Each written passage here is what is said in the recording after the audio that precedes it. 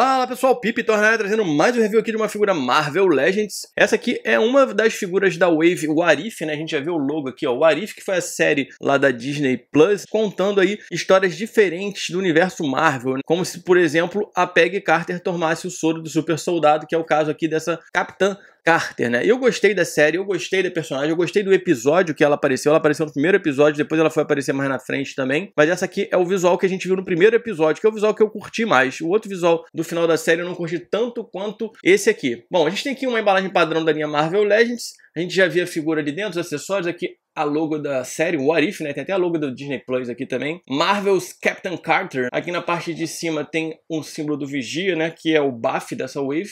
Nas laterais, como todas as embalagens dos Marvel Legends, tem uma belíssima ilustração aqui do personagem.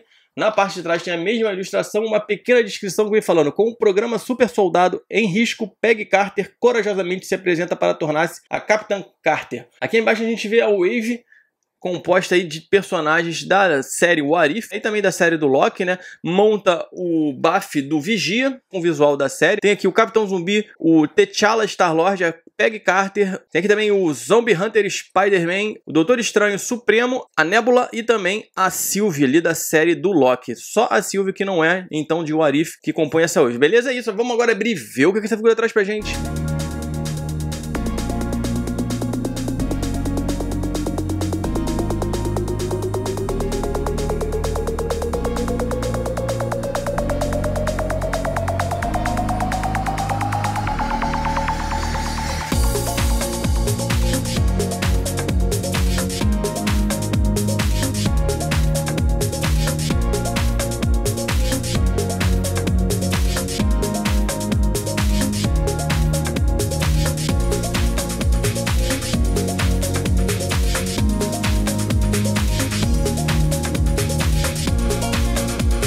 Aqui tem então nossa querida Peggy Carter fora da embalagem. Que figura bonita, hein? A Hasbro caprichou muito na escultura dessa figura. É um molde 100% novo. Eles mandaram muito bem, cara. Principalmente a head aqui da figura. A gente já vai ver mais de perto. Mas vale a pena chamar a atenção para esse ser um molde totalmente novo, sem pinos à mostra, né? Ou seja, pinless joint nos braços e nas pernas. Uma figura que eles tiveram um capricho muito grande e a combinação de cores aqui desse azul, branco e vermelho ficou muito legal, chama muita atenção. Vamos dar agora uma olhada mais de perto nos detalhes?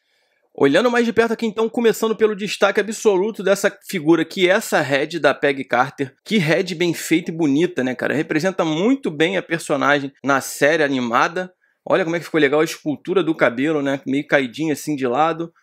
Um detalhe muito bem feito aqui com relação ao cabelo, nesse cabelo castanho, a gente tem então aqui o rosto com tipo uma maquiagem, ó, ela tá de batom, ela tem ali os olhos bem expressivos, com muito bem feita essa head, cara. Olha que head bonita. Agora já dando uma olhada no corpo, a gente tem aqui essa bandeira da Grã-Bretanha estampada no peitoral aqui, né, da personagem. Eu achei bem legal o uniforme dessa personagem, né. A escultura do corpo é muito bem feita, como eu comentei, tem pinless joints aqui nos braços e nas pernas, ó.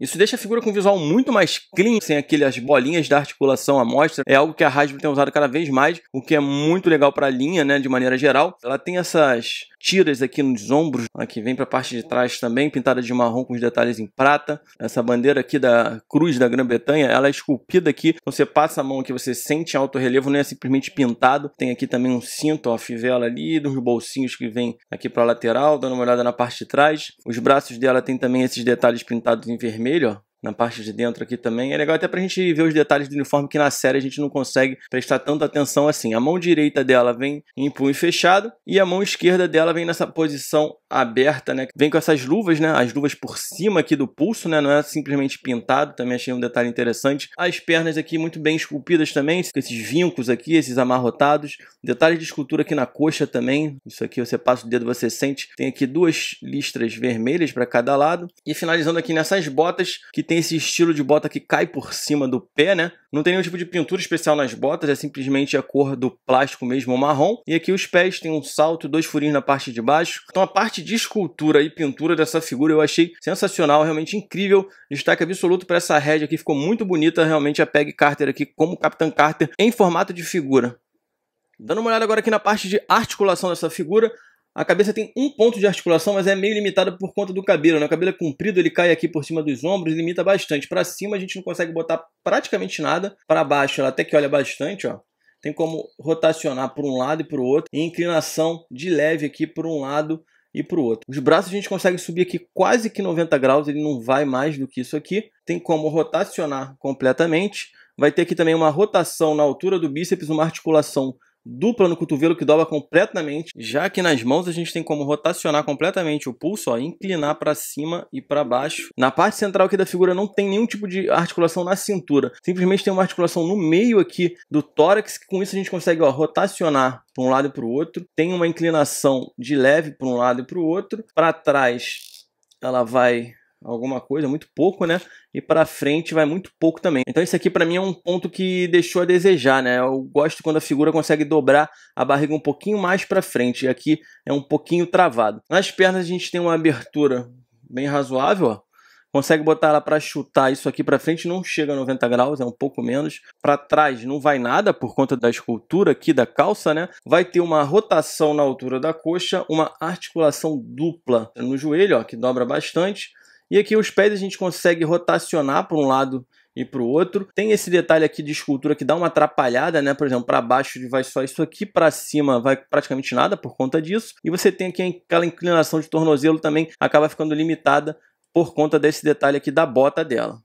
Falando aqui agora de acessórios, eu acho que é o ponto que a Hasbro mais deixou a desejar nessa figura. O único acessório que vem é esse escudo, não poderia faltar jamais, né? Que é o escudo aí da Capitã Carter. O visual do escudo eu acho muito bonito, né? Acho que eles mandaram bem aqui nessa combinação de cores e também o símbolo ali da Grã-Bretanha no meio do escudo. Acho que ficou bonito. Agora, eu acho ele fino. Esse plástico aqui, ele parece ser um plástico de qualidade duvidosa, sabe? Daquele que tem medo de quebrar com facilidade. Aqui atrás tem essas alças, né? Que é pra gente colocar lá segurando o escudo. E só. Vou até botar aqui para vocês verem. Essa mão aqui, esquerda, eu entendo que é a mão que a gente coloca ela para segurar o escudo, ó. Não é algo tão natural assim, né? Meio apertado, mas enfim, você consegue botar ela aqui, ó, para segurar o escudo e ela fica dessa forma aqui, mas ele tende a cair. Se você botar para segurar dessa forma aqui. Eu fiquei muito chateado de não ter vindo uma outra mão de punho fechado, né? Quando você não quiser, por exemplo, que ela esteja segurando o escudo, você fica limitado a essa mão aqui entreaberta, quando que eu acho que eles poderiam ter mandado a figura com as duas mãos de punho fechado e isso aqui como uma mão extra. Acho que faltou também uma mão de arremesso de escudo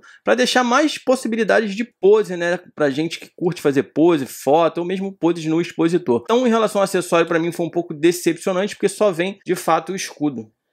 Dando uma olhada agora aqui na altura da figura da Capitã Carter, esse é um ponto que eu achei legal na série, né? Porque depois que a Peg tomou o soro lá do super soldado, ela cresceu de tamanho, ela ficou realmente grandalhona. Então eles tentaram reproduzir isso aqui na figura, fazendo uma figura um pouquinho mais alta. Então a gente tem aqui a Capitã Carter com aproximadamente ali 16,5 centímetros de altura, o que dá mais ou menos ali 6,3, 6,4 polegadas. Vamos comparar agora com outras figuras.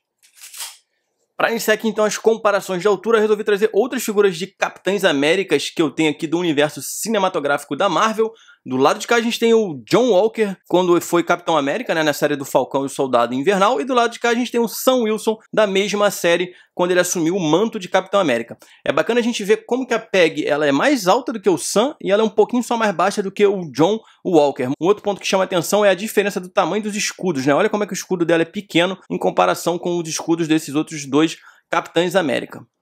Comparando agora com mais dois Capitães Américas que eu tenho aqui na coleção, do lado de cá a gente tem o Capitão América 80 anos da linha Marvel Legends e do lado de cá a gente tem o Capitão América do filme Era de Ultron da linha SH Figuarts. Dá pra ver a diferença de altura entre essas figuras. A Peggy Carter mais baixo então aí do que o Capitão 80 anos. Comparando agora com mais duas figuras da linha Marvel Legends, só que personagens com o visual dos quadrinhos, a gente tem então ali o Homem-Aranha uniforme simbionte, né? E o Deadpool com seu visual dos quadrinhos, o Deadpool consegue ser mais baixo do que a Capitã.